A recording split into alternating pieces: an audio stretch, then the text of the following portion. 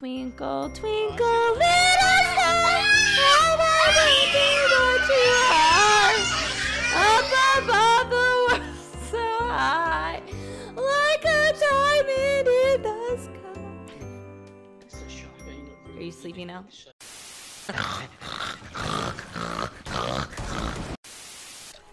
And to do this, she needs to replicate their infrasonic calls. So they think there's a larger male close by